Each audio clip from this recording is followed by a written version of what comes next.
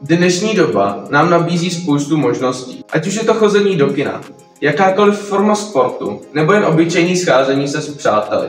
Přesto ale spoustu lidí sedí doma, nic se sebou nedělá a život jim doslova protýká mezi prsty. V dnešním videu bych chtěl mluvit o věcech, které vám dokážou zničit život. Pokud se ti video bude líbit, tak mi sem určitě hoď odběr, like, můžeš to taky přesdílet dál, nezapomeň mi hodit follow na Instagram a my se teď jdeme podívat rovnou na první bod. Nejhorší, co můžete udělat, je to, že nebudete dělat nic. Tohle je myšlenka, za kterou si absolutně stojím a neskutečně mě vytáčí lenost některých lidí. Já chápu, že je daleko jednodušší ležet na gauči a nic nedělat, než se jakýmkoliv způsobem posouvat dál. A to ať už kariérně nebo v osobním životě. Ale přístup toho, že nebudete nic dělat, by vás za chvíli totálně sežral. V životě musíte mít nějaký cíl, který ho budete chtít dosáhnout. Musíte si najít něco, co vás naplňuje, co vás baví a taky v čem se můžete posouvat, ale zase nemůžete pořád jenom jako pracovat na sobě, nemůžete celý den něco budovat, nemůžete prostě být furt v zápřeh, protože byste za chvíli vyhořeli a byste se z toho prostě museli dostávat. Takže ten odpočinek je důležitý a tím teď jako nemyslím to, že si lehnete na gauč a otevřete si pivo. Já mám spíš jako na mysli nějaký aktivní odpočinek, v mém případě je to třeba fitko, jenomže to by taky nešlo dělat jako pořád na 100%, že jo, protože byste se přetrénovali, takže tam taky potřebujete odpočívat, takže když si dáte prostě rest, tak se můžete jít projít, a nevím, můžete se projet na kole, jít si zaplavat, cokoliv. Ale zkrátka něco, co, u čeho se trošku odreagujete, zase změníte myšlenky, zase je to něco nového, co můžete dělat. Jako když to budete prokládat jinýma aktivitama, tak u toho vydržíte, protože jako všechno se vám po čase omrzí, nemůžete furt dokola dělat jednu a tu samou věc. Taky jako je fajn volit rozumné aktivity, jo, protože kdybych třeba nevím, stříhal, tak pak by nebylo úplně vhodný po třech hodinách sezení a čumění do monitoru si na dvě hodiny pustit film a dvě hodiny sedět a čumět do monitoru.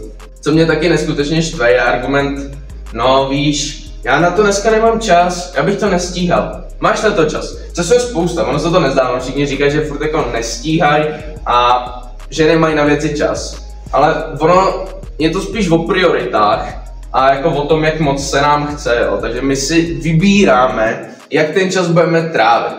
Takže až budeš příště sobě nebo někomu jinému říkat, že na něco nemáš čas, tak si vzpomeň třeba na tu hodinu, kterou si v průběhu dne strávil na sociálních sítích. Což nás teda jako přivádí k druhému bodu, protože sociální sítě ty v tomhle videu taky nemůžou chybět. Ono to sice bylo vytvořené z toho důvodu, aby to jakože zbližovalo lidi, jenomže mně přijde, že to spíš ty lidi oddaluje. Což tohle bylo jakože hodně deep a určitě jste to nikde neslyšeli. Ne, jakože sociální sítě určitě můžou být nápomocný a můžete tam najít i zajímavé věci, které prostě se můžete tam naučit něco nového, ale všeho moc škodí. Jakmile se začnete porovnávat na těch sociálních sítích s někým jiným, tam začíná ten problém, protože na sociálních sítích jen to nejlepší z života každého z nás. Takže málo kdy tam budete narážet na fotky holek, který právě teď vstali a nejsou namalovaný, nebo zase ta fitness taky tam úplně jako nenajdete fotky, nebo nenajdete tak často fotky týpků, který se tendence cítí totálně na hovno, ta forma taky za nic nestojí a tak se vyfotějí. To tam není, většinou jako tam je prostě dobrý světlo na těch fotkách, ty lidi tam dávají fotky z dovolených, dávají tam fotky všeho možného. No, když si někdo půjčí na, na jeden den auto, tak se s tím vyfotí a dá si to na Instagram a ty pak takhle sedíš jakože projíždíš a no, tady je někdo na dovolený, tady má někdo auto, tady někdo má superovou formu, kterou má doslova tak jakože hodinku, hodinku a půl po tréninku, pak to opadá. Což pak v někom může třeba budit i pocit jako méně a může docházet až nějakým úzkostným stavům. Protože když se fakt třeba cítíte blbě, máte špatnou náladu, jste smutný, tak vám fakt nepomůže to, když budete několik hodin scrollovat na Instagramu, na TikToku a budete si číst depresivní citáty. Ne, vím, o čem mluvím. Jako ve všem si v tom musíte najít balans, ale to vám tady asi nemusím říkat.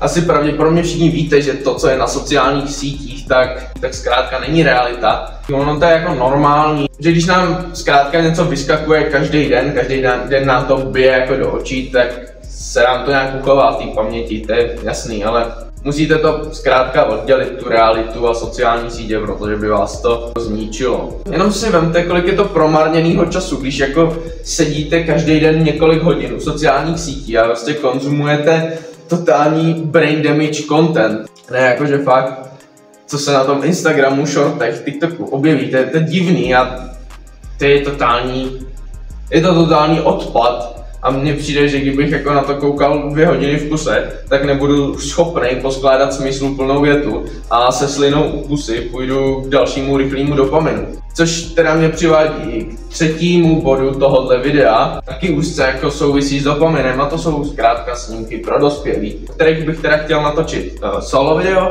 ale tady to taky nemůže chybět, protože si myslím, že v této době to je fakt jako velký problém, o kterém se mělo mluvit. Jenom si vemte, jak moc tragický je to, když koukáte na někoho, jak... Chápeme se? A vy sedíte za monitorem nebo na hajzlu a děláte si dobře nad něčím, co není absolutně reálný a co vám totálně ničí sexuální život. Sledování snímků pro dospělých může způsobit velký problémy, a to ať už třeba erektilní dysfunkce, anebo jenom to, že zkrátka nebudete mít vůbec chuť na ten obyčejný sex a přijde za váma frajerka a vy budete jakože, hm, a kde jsou ostatní? Takže když si chceš najít holku, tak prostě běž ven, kamkoliv, nebo na sobě jenom začni pracovat, zkus pracovat na svém vizuálu, na svém sebevědomí a oni tě holky taky pak začnou vnímat trošku jinak no jako se to říká, že prostě a budeš sebevědomý, tak holky na tebe začnou pohlížet trochu jinak. A ono to je pravda, ono, je jako, ono se to lehce řekne a pak je těžší to províst. Ale to musíte už vyzkoušet, no, musíte nějakým způsobem začít. Musíte tomu jít trošku naproti, jo, protože když budete sedět ve svý Virgin Cave a budete tam hrát Vovko, tak těch příležitostí asi úplně moc nebude, jo, ale taky to neznamená, že teď musíte se zvednout a přidat si každou frajerku na Instagramu, na Facebooku všem napsat a jako doufat, že z toho něco bude. Kdybyste každý den jako chodili do klubu a oslovili tam 50 dolek, tak jednak asi budete muset často měnit kluby, protože už tam budete známá firma, ale zkrátka jako třeba jedna z těch 50 by s tím souhlasila, kdybyste jako za ní přišli a nebo jako, a byl, jako zeptáte se té frérky, to jako říct, tak aby to YouTube přijmul. Uh, Dobrý den, madam, budete prosím se mnou sdílet lože, nebo jakože kabinku na hajzlech, a nevím, jak se to dělá v klubu, jak chodím do klubu. Sedím doma a hraju Vovko. Nehraju Vovko. Nehraju Vovko, ale nevím, mě nenapadá Hearthstone a trpasličí pokr hrajem s chábrama. To si zase lidi budou myslet, že jsem nemocnej. Ty vole. Nerdík. Já nevím, co dělají lidi, vole. Jedno, zakecávám se, odbíhám od tématu, tohle video má být seriózní. Takže jedem dál k dalšímu bodu.